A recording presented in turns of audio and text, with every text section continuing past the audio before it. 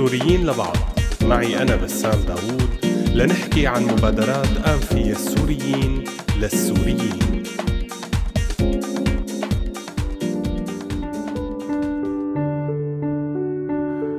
مرحبا. اليوم رح نحكي عن سوريين لبعض. قرروا يروحوا باتجاه الثقافة والفن ويدعموا السوريين يلي عندهم مشاريع من هالنوع رح نحكي عن مؤسسة اتجاهات ثقافية وعن اثنين من برامجها يلي بتقدروا تقدموا عليهم بهالفترة.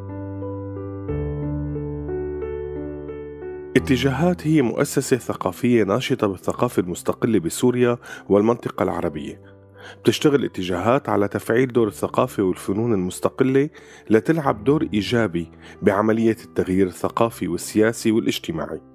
وكمان بتسعى المؤسسة للمساهمة ببناء علاقة أصالة بين الفعل الثقافي والفني من ناحية والمجتمع السوري بتنوعه وتعدده من ناحية تانية. هالهدف هذا بتسعى اتجاهات لتحقيقه من خلال عدة برامج ومشاريع منها مشروع ابتكر سوريا وبرنامج مختبر الفنون.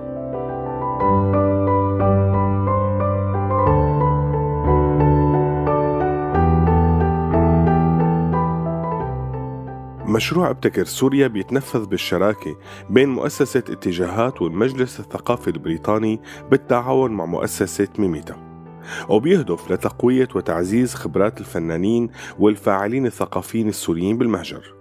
وبيسعى كمان لتوفير بيئة مؤهلة بتخول الفنانين والفاعلين الثقافيين ومنظمات المجتمع المدني للعب دور رياضي بتحسين الطرق المعيشية للسوريين من خلال دعم جهود ومبادرات مبدعة بتساهم بتكريس التعاون والألفة والتكيف بين السوريين والمجتمعات المضيفة.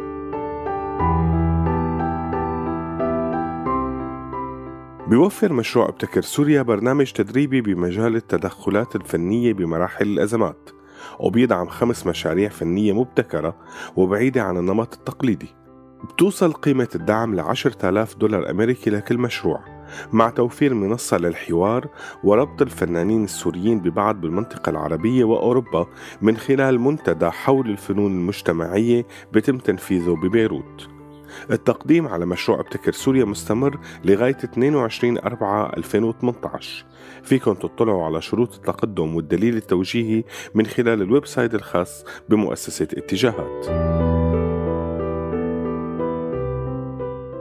أما البرنامج الثاني فهو برنامج مختبر الفنون وهو برنامج دعم للفنانين السوريين بيتوجه للفنانين والكيانات الثقافية السورية بهدف دعم ممارساتهم الإبداعية لتكون متجاوبة مع الأمكنة الجديدة الموجودة فيها.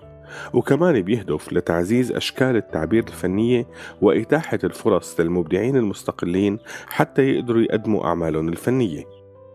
ببلش التقديم على برنامج مختبر الفنون يوم 1 5 2018 ضمن كل الفئات الفنية والأدبية اللي بيعطيها البرنامج وهي السينما رسوم متحركة، مسرح، رقص، فنون أداء، كتابة إبداعية، فنون بصرية وبتشمل الفنون التشكيلية والتجهيزات الفنية ومشاريع التصميم البصري والجرافيكي وكذلك الموسيقى.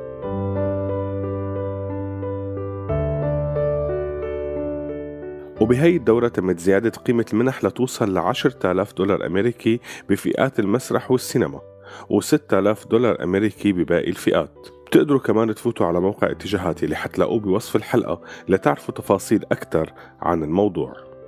سلام.